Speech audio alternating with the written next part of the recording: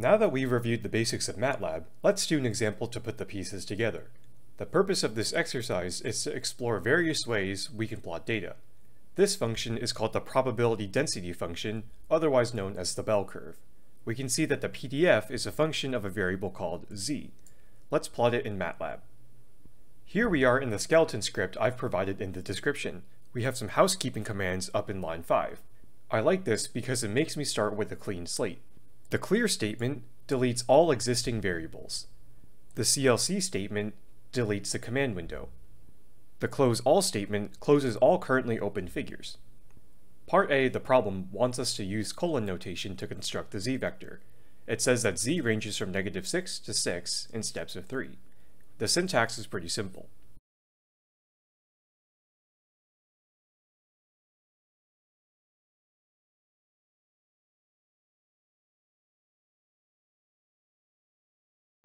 I created four variables.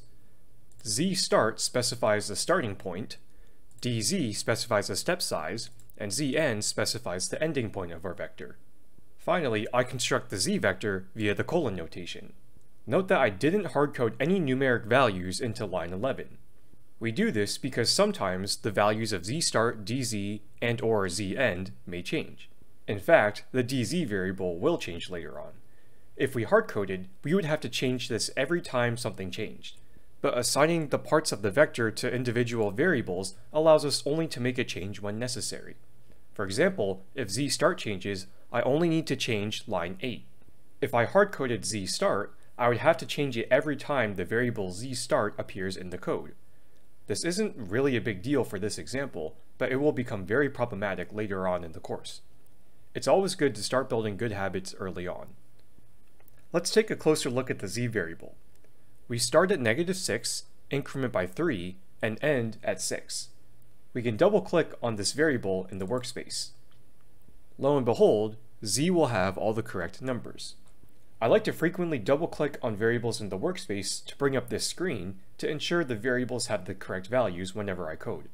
This particular screen is really useful because it allows you to see the individual elements of a vector. If it's something short like this, it can help you debug really quickly. You could optionally unsuppress parts of your code by removing any semicolons so it prints straight to your command window for quick debugging.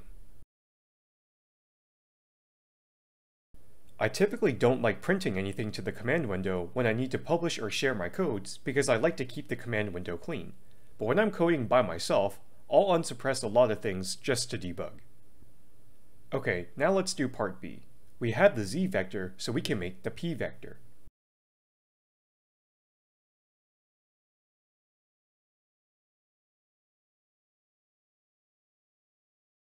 Before we run the code, let's take a look at this line. One quirk of MATLAB is that you can have different uses depending on the syntax. If you do something like 1e negative 3, MATLAB will interpret that as 1 times 10 to the negative 3. When we're using e in the context of the probability density function, there's a special built-in function for that because MATLAB already assigned the letter e to exponentiation.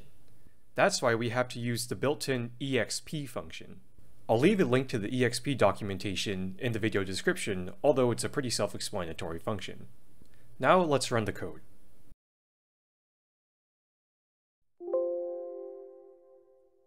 We got an error. It says we have incorrect dimensions for raising a matrix to a power.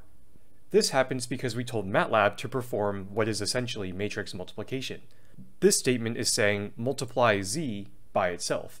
Recall the rules of linear algebra. To multiply matrices, the inner dimensions must match. But z is a 1 by 5 vector, so if we attempt to do z times z, the inner dimensions will conflict. What we really want is element-wise exponentiation.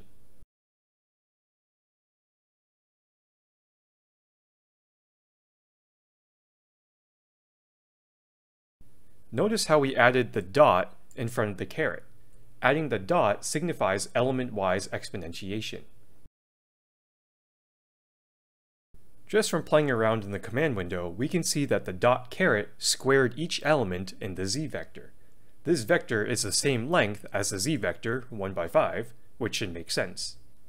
Now you might be thinking, wait a minute, Shouldn't this be a dot divide since this quantity returns a vector? We could, but this expression returns a scalar, so we're dividing a vector by a scalar, which is legal. You can add it to be safe, but it won't change the output. Although the p expression isn't terribly difficult, you should always double check just to make sure you haven't misplaced your parentheses or something. I've personally gotten very tripped up on seemingly simple equations because the simplicity lulled me into a false sense of security and I rushed. One cool feature is if I hover over the parentheses, MATLAB will highlight the corresponding parentheses. This is a really good way of checking if I forgot to close a set of parentheses or brackets. Also notice the use of the built-in constant pi. We didn't hardcode things like 3.14. Although it may seem inconsequential here, truncating digits may cascade errors throughout a longer problem. Now let's move on to part C. For part C, we need to plot. We're also going to use the UI setColor command. From the documentation, we can see that the function opens a GUI with some colors.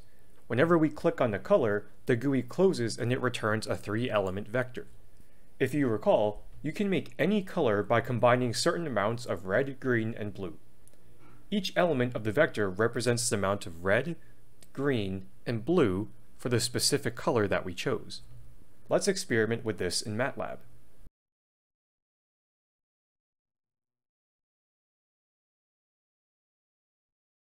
Here, we store the three-element vector we get from the UI set color in the variable c. Notice how the plot appears in the color we chose. You can make some very aesthetically pleasing plots with this function, so make good use of it. Our plot contains labels on both axes and a descriptive title. We should include units, but this is a relatively simple function, so we can exclude them in this specific case. There's a pretty jarring issue. Our plot looks extremely jagged. It bears little resemblance to the bell curves you might find on Google Images. The reason why is because we made the z-vector with a very large step size, so the resulting plot will be coarse. The z-vector only has 5 elements right now. If we add more points, we'll get a smoother curve. This can be done by decreasing the step size. Let's try using a step size of 1.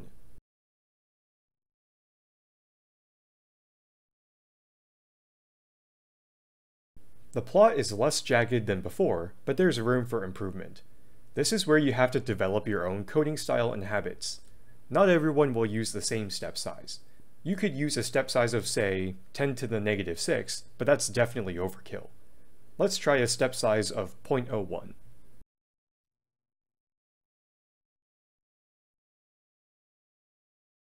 Now the plot looks nice and smooth.